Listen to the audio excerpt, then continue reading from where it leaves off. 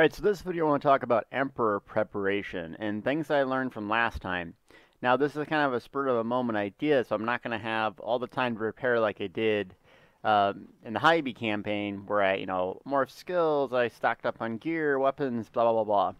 And to be truthfully honest with you, I don't think you have to go to that extent to get Emperor anymore.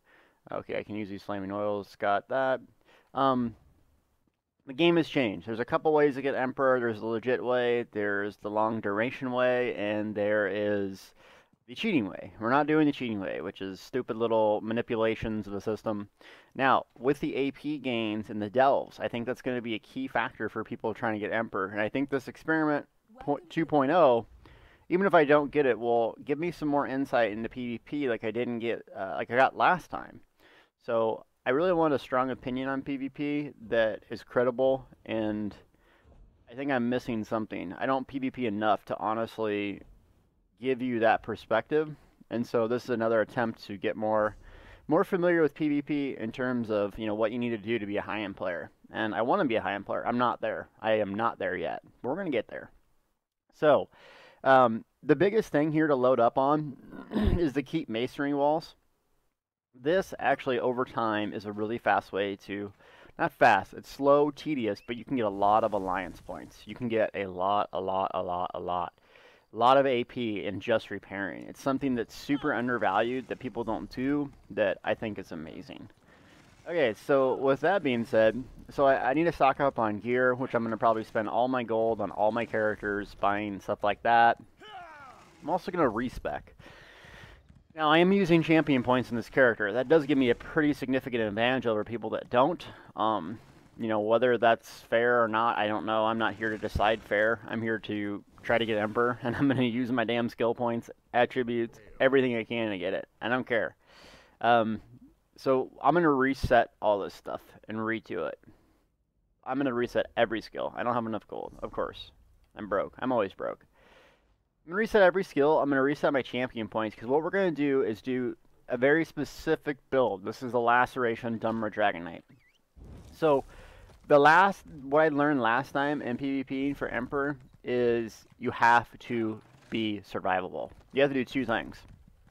You have to be survivable. You should like just never die. You just you have to make a build so you're not dying all the time. Remember, if you're dying, you're losing tons of AP, tons and tons of AP, just sitting around, wandering back. We don't want to die. So we're going to build something that can sustain a lot of damage, can heal, and do DPS. That's my whole thing. If I'm not going to be able to kill people like in three seconds, I don't care. That's not my goal. My goal in this build, this character, is to be super survivable. Frontline fighter, but also being able to heal healing is really important, especially if you're getting Emperor, because you you spray some what I call DPS dust on people, or you spray some healing heal over time. You're getting AP for their actions. So even on a lobby here, I only have what restoration staff. 25. I don't even have any of the passives. So we're gonna respec so that way we get um, those skills from distractions tree and put them in restoration staff. Dragon Knights actually do pretty, pretty good healers, believe it or not, um, because you can get a shield. And some of the other utility abilities I need to unlock, and hopefully I can unlock in one day, which are the Cleanse. Especially with the way things are in Cyrodiil with Siege right now. Hello. Dragon Knights don't have an inherent way to cleanse. The only way to cleanse on a Dragon Knight is to get this Purge, Alliance Rank 4. So I need about 60,000 AP. Hopefully I can get that today on stream. Um, so if I get that, then I'll really be self-sufficient. I'll be able to heal myself, cleanse myself. It's going to be just basically up to having a lot of magic, being able to cast a lot, so I can survive almost anything. Let's go ahead and respec the attributes. Go ahead and respec all that stuff. We're going to respec champion points too. Alright, we're going to start fresh. And confirm. 3k gold. This is where all my gold goes. Well, that's a lot of champion points. 120. Okay, so now that I got a fresh respec, what I want to do is go into Cyrodiil because the bolstered stats, right? I want to make sure that when I actually spec my character, I get the bolstered effect or whatever it's called, battle level or whatever in this game. So That way I can get a realistic picture of what my stats are going to be when I get in there. And speaking of which, I don't have any do I have food. I don't have food. So let's go check if the guild bank has some food. Because that also will be uh, advantageous. Now, I think I'm going to use drinks. I need to check my provisioner to see if I have like purple drinks. I plan to get this guy to level 30 by tomorrow. So hopefully I can get this guy to level 30, recraft a bunch of gear, and super twink him out. So I can be awesome. Awesome. But drinks, Lobby drinks, and I'm talking about the the crafting provisioning ones that boost your stats. Not your stats, but your recovery. That's going to be super valuable in PvP. Because it's easy to get 20, 25k um, health. Alright. So drinks. What, where are these at? Level 35. Look at that. Health recovery, stamina. So if I get a purple recipe drink at 30, that would be super helpful. So let's see. What's this at? 40? Ooh, magic and stamina by two. That's just an incredible amount. Alright, so we're going to use the drinks. I'm going to have to find a provisioner or do it myself. That'll be another task today. I might as well write these down. So what did we say we had to do? To-do list. Oh my god. To-do list is getting crazy. Need to get purge. Need to get food. Need to buy siege. The list gets longer and longer. The more stuff you can prepare for, the better, but there's always going to be something that comes up. There will always be something that comes up. Like last time, I had a really close family friend that died. Just, bang, just dead. Like, and I, you know, we had to go to the funeral and that that after that I just killed my emperor run. They just killed me. I mean, it tore the family apart. It was terrible. Guy was like, I mean, we went to the family reunion of this guy. He was just an amazing part of our family. He, you know, he was my best dad's best friend, and something like that's going to come up during this. Hopefully not someone dying, but what I'm trying to get you, you're in the mindset here, is be prepared for anything because it will happen like I said, after that, I was just, you know, it was it was a soul killer there, but you gotta deal with it. Um, and then what I learned last time is when the campaign flips, stick to your normal schedule. So don't do the whole like what I did is I stayed up till four in the morning, and then my whole schedule for the whole week was off. And I, and you're either going to get Emperor right away in the beginning, or you're going to have to long haul it.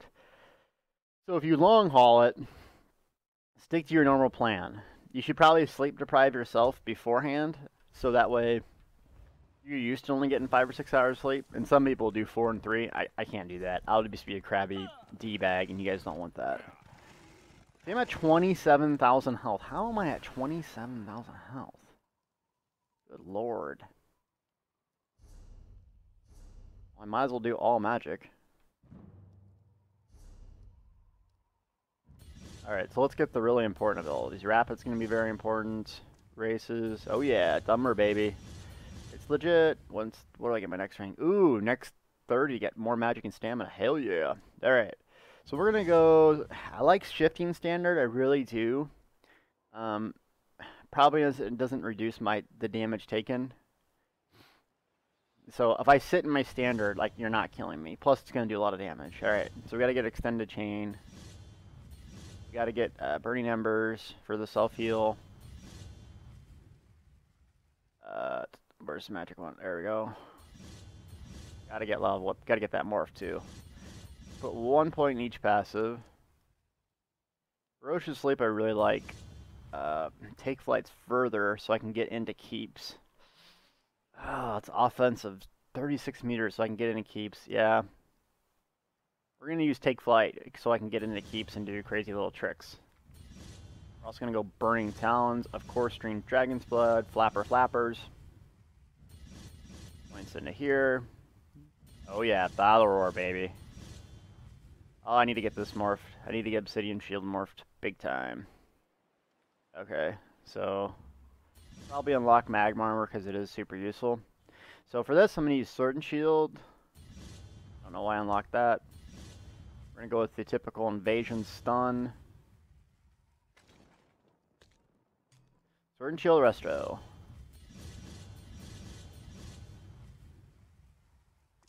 And Resto. So Healing Springs, bread and butter. Steadfast Ward. I like the ward for like a, a da damage shield, though I do have Igneous shields. We're just gonna unlock a bunch of these. Alright. Now we're getting close to being done here.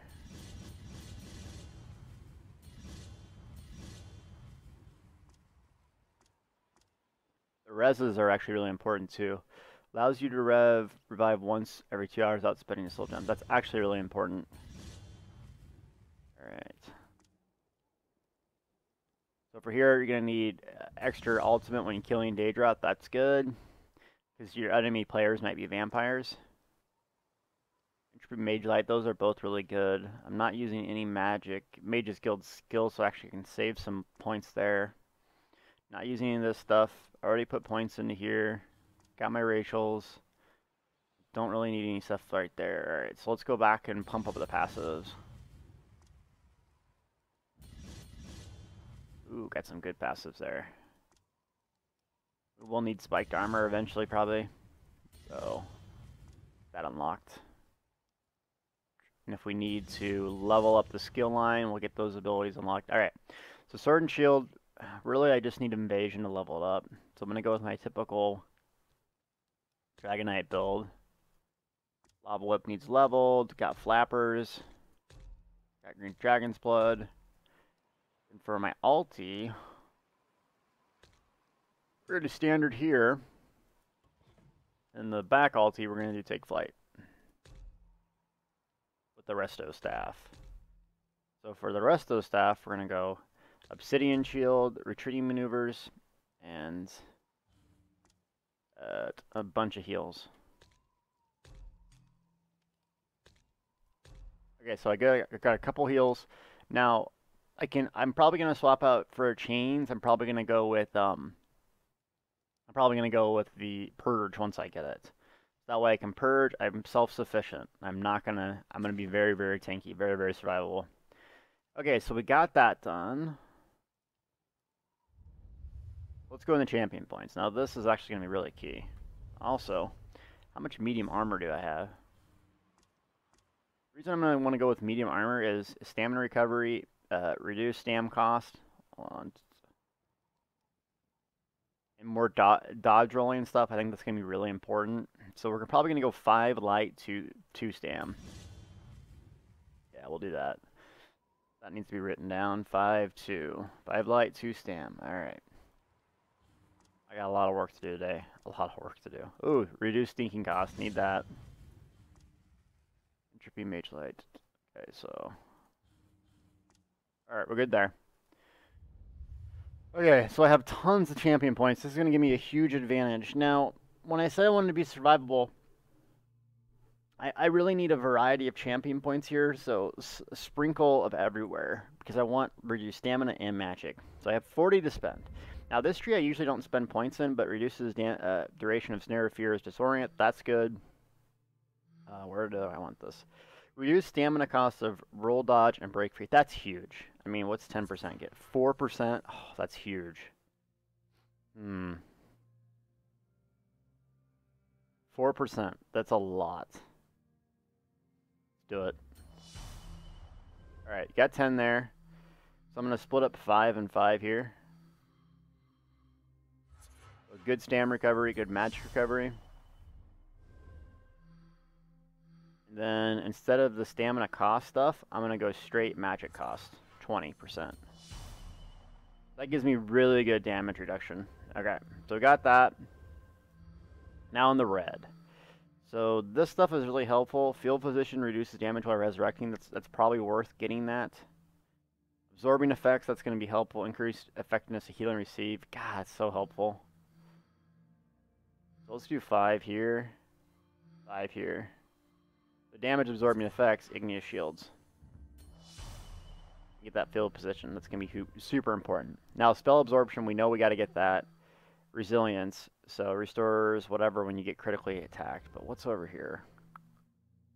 That's good, that's good. Reduce block cost. God, gotta have that too. We go 10 points here. Reduce block cost 5%. That's just incredible. Alright, so now what I got? 20 points to spend here. So there's a lot of flame damage thick skinned. Let's go eight, eight. Oh, didn't do 8. 884. So that would give me good defense against fire, flame, all that stuff. I get spell absorption. I don't really get the crit hit thing, but it's fine. It's only 280 damage. I'd rather have reduced blocking. So I think that's a good setup for as far as my defensive goes. So offensively, we're all about that fire damage. Now remember, we're healing too though, so we're going to have to split this up. I'm probably just going to do 10 across the board. So I can heal pretty decent, get more healing, increase fire, flame resistance, so it's a good variety of places to spend points. Alright, so that's the PvP champion point spec loadout that I got. Let's look at the stats here. So recovery is at a, a thousand. That's awesome. Stamina recovery is super low, so we're going to need to boost that. We're also going to need to get those drinks. So I boost the stamina recovery by 630, I use Dragon's Bloods at 720. Okay, so 230 here. Looking at 1,000 and 1,200, that should be pretty good. It should be good. So that's going to be key. Also, what jewelry am I wearing? Reduce magic cost. Okay. So, that looks pretty good. Uh, two medium pieces of gear, medium, would help us out tremendously. So let's just see what it looks like when we do two medium. Two medium would increase our stamina regen significantly. And if we get the skill leveled up, then we can do more points into the uh, low dodge rolling cost. Now dodge rolling, you know, is, is how I survive in PvP with stamina. Also, if I'm going to be blocking all the time, gotta have reduced reduced block.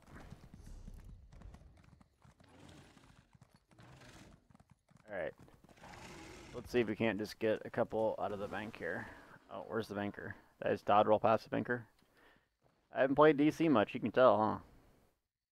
Guild bank. Alright. Do I have two medium pieces that I can wear? Here's one. Sure. Oh, these are actually good medium pieces. Level 12, fine. Level 11, great. Alright.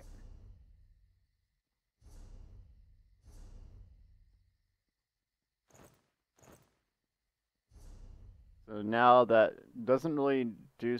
Why is the stamina recovery so low? It must be because I don't have all the passives. That barely increased it. 720. Let's read that passive.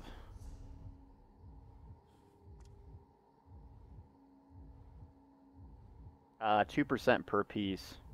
So if I got another point in it, then it would be a lot more. Reduces stamina, cost of abilities. 4%. Hmm. So 2, 6, 7. It, it'd probably be worth it once I get this. Probably be worth it, but that's 42 in the armor skill line, so that's quite a ways. Reduces cost of sneaking and detection. Yeah, it's worth it. Critical strike, we don't really need that. So once I get those two, it'll be really good. Okay. So that's the loadout. Oh, is Brindle getting hit? Brindale. Yeah, blueberries are awake, baby. Blueberries are awake. Get woke up. Yeah. Alright, so that's a good skill loadout. So what I need to do now is hit level 30, recraft a bunch of gear. Probably going to go with Seducers, maybe Arena, I don't know. Even on a Lobby, it's still powerful. Do that, I'm going to redo the jewelry, um, so that way I get some, some good stats on the jewelry. Otherwise, we're looking pretty good. Um, so as far as materials that I need, I need a lot and lot of Siege. And I bought all the Siege on my AD characters, and it's Dominion, so you can't use it. I'm that big of a PvP nub, I didn't even know that. So, uh, Siege I'm going to need, also wall repair kits. Wall repair kits are going to be major important. Where's the Siege vendor? Here we go. I don't even have any gold to buy Fire Ballista, I don't think. Covenant Ballista. We're going to go Fire Ballista, because everyone loves their Fire Ballistas now. And Fire Trib. I could spend my AP, but I want to save it for the time being. Alright, so we got a to-do list. We're going to go at it. But this is some of my Emperor prep training slash to-do list things that you guys have seen. So now I'm going to go do this stuff, and then, um, yeah. stream today, see if we can't do some lobby PvP, get this this map cleaned up, and get ready for an imp push.